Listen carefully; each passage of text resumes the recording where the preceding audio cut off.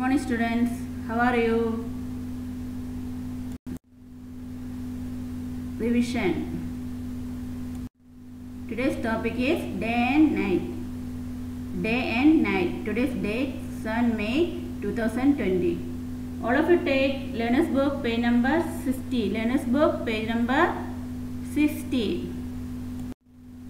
In this topic, new words are first one spins. S P I N S spins, second one day. D A Y day, third one night. N I G H T night, fourth one dark. D A R K dark, fifth one earth.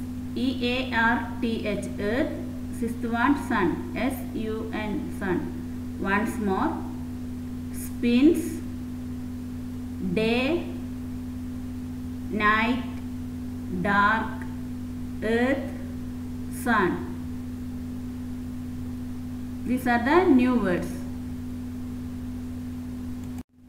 Next one, glossary. First one, night. The time when a place on the earth is facing away from the sun. Night means the time when a place on the earth is facing away from the sun. See this picture? You can't see the sun. It is night time. So you can't see the sun. Only dark. See? The time when a place on the earth is facing away from the sun is called night. Night means the time when a place on the earth is facing away from the sun. See this picture? There is no sun. You can see only dark.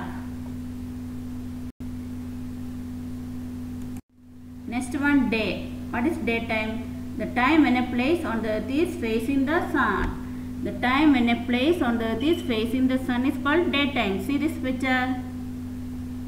Yes, you can see the sun. Daytime, see? Daytime means the time when a place on the earth is facing the sun. See the daytime?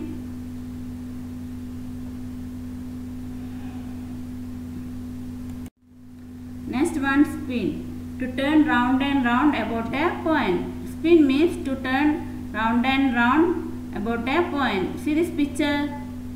The earth is spinning turn round and round about its axis.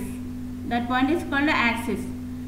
Once more, spins means to turn round and round about a point. Spin means to turn round and round about a point. Example is earth. Earth spins its own axis.